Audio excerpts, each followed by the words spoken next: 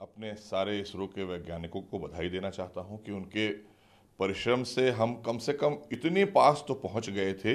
अब इस पर समीक्षा कर रहे हैं हमारे वैज्ञानिक। उन्होंने कहीं से भी हौसला नहीं छोड़ा है और हम अपने वैज्ञानिकों को बधाई देते हैं और उम्मीद करते हैं कि वो फिर से हमें अपने चंद्रयान टू को वहाँ ले जाकर दिखाएँगे दुनिया को, क्योंकि हमारे वैज्ञानिकों ने हमेशा से कमाल किया है और आगे भी हम ये उम्मीद करते हैं। हम सब कल बड़े उत्साहित थे और माननीय प्रधानमंत्री जी भी बैठे थे। आप देख रही थी, पूरा देश जाग रहा था। माननीय मुख्यमंत्री यहाँ बैठे, इंतज़ार कर रहे थे। आप भी जाग रही थी, हम सब जाग रहे थे और एक बड़ा अच्छा पल था, लेकिन थोड़ी देर के लिए जब वहाँ पर से संपर्क टूटा तो ऐसा लगा कि हमारी दिलों की धड़कनें बहुत तेज़ हो गई। हम बहुत उत्साहित थे, लेकिन थोड़ा चीज़ें ऐसी हुई कि अफसोस भी हुआ क्योंकि हमारे वैज्ञानिकों ने दिन रात एक करके इतना बड़ा काम किया था। हम उम्मीद नहीं हारे हैं, हम उम्मीद करते हैं कि आगे हम कामयाब होंगे। बहरहाल, जिस तरह से माननीय प्रधानमंत्री ने गले लगाकर इसरो के चेयरमैन को ढारस बंधाई, हम सब उम्मीद करते हैं कि आगे हम फिर से कामयाब होंगे, लेकिन थोड़ा इमोशनल भी हुए हम लोग रात में और इमोशन को हम अभी भी नहीं रोक पाए। अफसोस की बात ये हुई कि हम एक बहुत बड़ी हिस्ट्री लिखने जा रहे थे। फिर समय लगेगा थोड़ा सा क्योंकि समय लगा हमको बहुत लंबा समय लगा था उस तैयारी को करने में। तो फिर से हमारे वैज्ञानिक उस तैयारी को करेंगे क्योंकि जिस तरह से वहाँ पर सन्नाटा था वो सन्नाटा इसलिए नहीं था क्योंकि विज्ञान हमेशा चलती रहती है। वो विज्ञान का ज्ञान ही है वो वहाँ हमें तक पहुँचाएगा और हमें उम्मीद है कि हम आगे फिर सफल होंगे। जिस तरीके से हाँ। मैंने कहा ना कि मैं खुद अपने आप को नहीं रोक पा रहा था और अभी भी मैं आपके सामने इमोशनल हुआ। क्योंकि हम सब एक ऐसी चीज़ का इंतज़ार कर रहे थे, एक नए भारत की जो परिकल्पना आदरणीय प्रधानमंत्री की है, वो पूर्ण होने जा रही थी और हम कहीं रास्ते में भी रुके हैं। लेकिन हम हार नहीं माने हैं, न हमारे वैज्ञानिक हार माने हैं। हम जल्दी ही पहुँचेंगे, चंद्रयान टू फिर से एक बार चंद्रमा पर उतरेगा।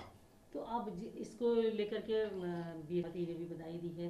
वैज्ञानिकों के इस कदम को लेकर के, उनकी जो उन्होंने मेहनत करी थी, उनका ये कहना है कि ये उनके जो प्रयास रहा, उसको सराहना की जानी चाहिए। अफसोस सबको है। नहीं, मैंने कहा ना कि सराहनीय कार्य है। इस कार्य में कोई कमी नहीं रही है, किसी भी तरह की। क्योंकि हम देखिए, बिल्कुल एकदम एट द एलेवेंथ आर कहीं हल्का हमारा जो संपर्क टूटा है, उस पर भी वैज्ञानिक हमारे अभी डेटाज जो है इकट्ठा कर रहे हैं कि आखिर ऐसा क्यों हुआ? क्योंकि हमें आगे कामयाब होना है। हमने इसलिए नहीं छोड़ दिया है कि अगर हमारा संपर्क टूट गया है तो संपर्क हमें फिर से बनाना है फिर से संपर्क स्थापित करना है। हमें अपने वैज्ञानिकों पर विश्वास है वो करेंगे और इसलिए हम उनको बधाई देते हैं कि उन्होंने एक अच्छे कम से कम इस, इस आधारशिला को रख दिया है कि हम इतने पास तक पहुँच गए हैं आने वाला समय है हम वहाँ उतरेंगे।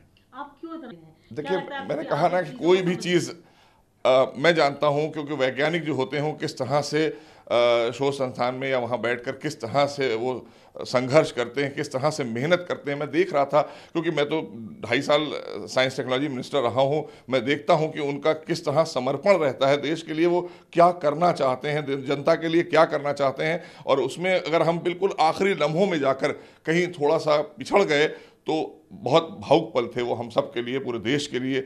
हमें लगता है कोई भी ऐसा व्यक्ति नहीं होगा जो भावुक नहीं हुआ होगा। मैं अपनी भावुकता को रोक नहीं पाया, मैं इमोशन को रोक नहीं पाया, क्योंकि मैं समझ सकता हूँ कि वो जिस समर्पण भाव से देश के लिए काम करते हैं, उनके दिल से पूछिए जिन्होंने इस काम को अंजाम दिया था और कल आखिरी लम्हों में उनका संपर्क टूटा तो उनके दिलों से पूछिए कि वो उनके दिलों की धड़कनें टूट गई।